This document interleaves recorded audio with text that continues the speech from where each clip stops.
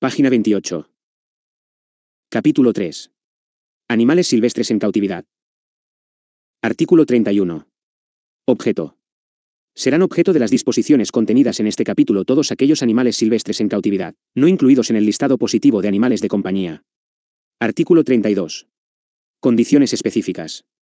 1. Queda prohibida la tenencia, cría y comercio de animales de fauna silvestre en cautividad fuera de los supuestos admitidos en esta ley. 2. Se exceptúa de la prohibición recogida en el apartado anterior, la tenencia, el intercambio y la cría en cautividad en parques zoológicos o similares en el marco de programas de alguno de los previstos en el artículo 4 de la Ley 31-2003, de 27 de octubre, de conservación de la fauna silvestre en los parques zoológicos y en el marco de programas de conservación de especies amenazadas en los que participen las administraciones competentes. 3. Las autoridades competentes podrán exceptuar de la prohibición recogida en el apartado primero, si se dan las circunstancias excepcionales contempladas en el artículo 61 de la Ley 42, barra 2007, de 13 de diciembre, y los artículos 9 y 12, respectivamente, de la Directiva 2009 barra diagonal 147 barra diagonal CE, de 30 de noviembre, relativa a la conservación de las aves silvestres, y de la Directiva 92 diagonal 43 barra diagonal CE, de 21 de mayo, relativa a la conservación de los hábitats naturales y de la fauna y flora silvestre.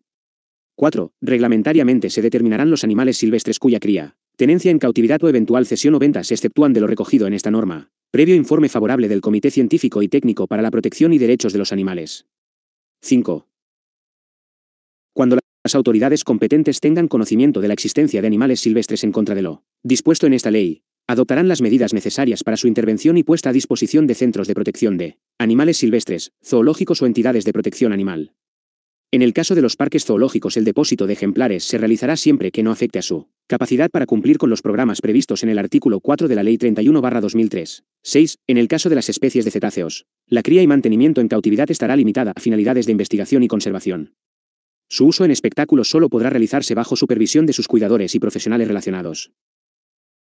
En el marco de la Comisión Estatal para el Patrimonio Natural y la Biodiversidad, previo informe del Comité Científico y Técnico, la Administración General del Estado junto con las comunidades autónomas elaborarán directrices de gestión y condiciones de cautividad de los ejemplares vinculados a las citadas finalidades.